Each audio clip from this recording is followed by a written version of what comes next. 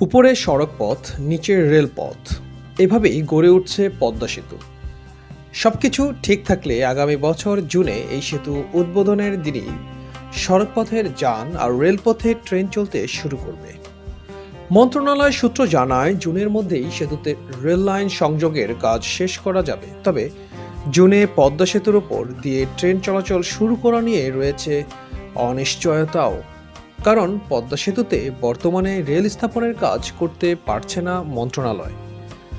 আগামী নভেম্বরের মধ্যে এই কাজ শুরু করতে না পারলে পিছিয়ে যাবে রেল চলাচলের তারিখ।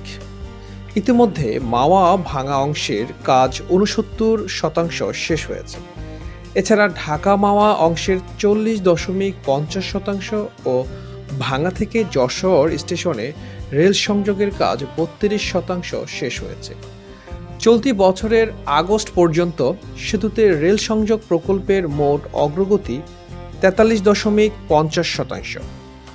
পদ্মা সেতু দিয়ে একসঙ্গে সড়ক পরিবহন ও ট্রেন চলাচল শুরু করার চেষ্টা চলছে। কিন্তু আগামী ডিসেম্বরের মধ্যে সেতু কর্তৃপক্ষ রেল মন্ত্রণালয়কে কাজের জন্য সুযোগ না দিলে এ কাজ যথাসময়ে, অর্থাৎ আগামী জুনের মধ্যে শেষ হবে না। এতে করে জুনে পদ্মা সেতু দিয়ে ট্রেন চলাচল শুরু করা নিয়ে সংশয় তৈরি হওয়ার সম্ভাবনা রয়েছে। যদি কোনো কারণে আগামী জুন মাসে পদ্মা সেতুতে ট্রেন চলাচল শুরু করা সম্ভব না হয়, তাহলে আগামী বছরের ষোলোই ডিসেম্বর ঢাকা মাওয়া ভাঙা রেলপথ চালু হওয়ার চিন্তা ভাবনা রয়েছে। প্রকল্প কর্মকর্তা জানান, সড়ক বিভাগের কাজের প্রাধান্য থাকায় পদ্মা সেতুতে ইউটিলিটি সার্ভিস অর্থাৎ বিদ্যুৎ গ্যাস লাইন নির্মাণ করার পরেই রেল লাইনের নির্মাণ কাজ শুরু করতে হবে। সড়ক বিভাগের এনওসি পাওয়ার পরেই রেল লাইন নির্মাণের কাজ শুরু করা যাবে। জানা গেছে, পদ্মা সেতু রেল লাইন বসাতে প্রায় ছয় মাস সময় লাগবে। সেতু কর্তৃপক্ষ এখন সেখানে গ্যাস পাইপ লাইনের কাজ করছে। এসব কাজ শেষ করে আগামী বছরের মার্চ মাসে সেতুতে রেল লাইন বসানোর জন্য রেল কর্তৃপক্ষের কাছে হস্তান্তর করতে পারে। সূত্র জানায়, কম সময়ে ইউটিলিটি সার্ভিসের কাজ শেষ করতে বর্তমানে বিভাগের সঙ্গে সমঝোতা চলছে রেলপথ মন্ত্রণালয়ের। পদ্মা সেতু রেল সংযোগ প্রকল্প বাস্তবায়নে সময় রয়েছে দুই হাজার চব্বিশ সালের তিরিশ জুন পর্যন্ত। তবে সরকারের লক্ষ্য দুই হাজার বাইশ সালের মধ্যে এই প্রকল্পের কাজ সম্পন্ন করা। এই প্রকল্পটি বাস্তবায়ন হলে পদ্মা সেতুর ওপর দিয়ে ঢাকা হতে যশোর পর্যন্ত একশো উনসত্তর কিলোমিটার রেল লাইন নির্মাণের মাধ্যমে যোগাযোগের উন্নয়ন হবে। সরজমিনে দেখা যাচ্ছে দুই পাশের রেল সংযোগ প্রকল্পের কাজ এগিয়ে চলছে। মাও প্রান্তে সংযোগ রেল লাইনের কাজ শেষের দিকে। আগামী ডিসেম্বরের মধ্যেই এর নির্মাণ কাজ শেষ হবে বলে জানা যাচ্ছে।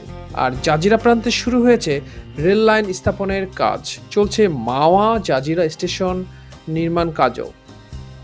চোদ্দটি নতুন স্টেশন নির্মাণ করা হবে ঢাকা থেকে যশোর পর্যন্ত এই রেল প্রকল্পে।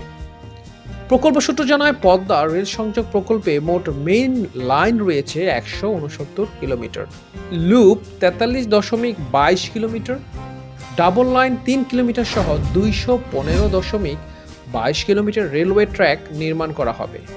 এর মধ্যে তেইশ দশমিক সাতত্রিশ কিলোমিটার ভায়াডাক্ট, এক দশমিক নয় আট কিলোমিটার র্যামস, ছেষট্টিটি মেজর ব্রিজ, দুইশো চৌচল্লিশটি মাইনর ব্রিজ, একটি হাইওয়ে ওভারপাস ও উনত্রিশটি লেভেল ক্রসিং নির্মাণ করা হবে। তো দর্শক, এই হচ্ছে একটি সামগ্রিক চিত্রপট। ভিডিওটি কেমন হলো তা জানিয়ে আপনার মতামত এখনই কমেন্ট করে জানাতে পারেন।